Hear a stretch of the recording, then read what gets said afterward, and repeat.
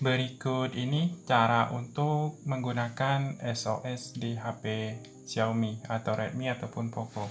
Jadi untuk kalian yang ingin membuat panggilan darurat dan menonaktifkan atau mematikan bisa ikuti cara berikut ini.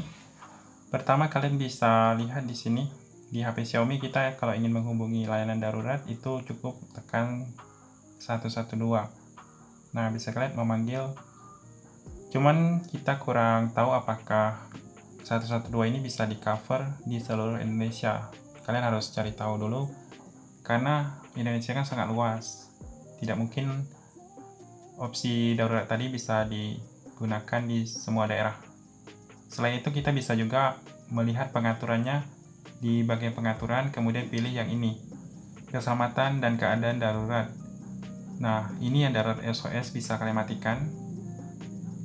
Bisa juga kalian aktifkan Cara menggunakannya itu tekan tombol daya ini lima kali dengan cepat. Bisa putar alarm atau bunyi. Nah, telepon bantuan ini bisa kita ubah dengan nomor yang kita custom.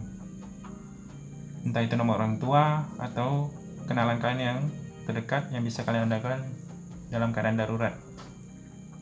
Misalnya, kalian isi saya nomor dengan nomor kenalan kalian atau keluarga Kemudian ada peringatan darurat nirkabel ini bisa juga kalian matikan kalau tidak dibutuhkan.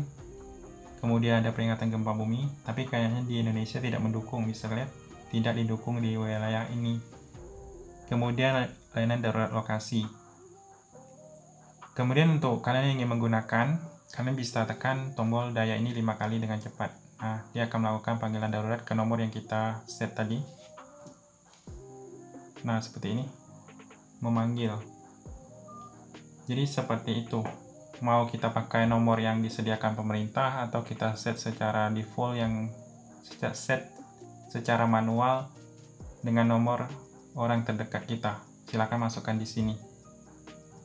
Untuk mematikan di sini, nah itu bisa dimatikan. Tapi kita berharap fitur ini tidak pernah kita gunakan sama sekali. Tapi kalau kalian memang membutuhkan atau untuk jaga-jaga, di set saja di sini nomor yang sangat penting. Itu saja, semoga bermanfaat.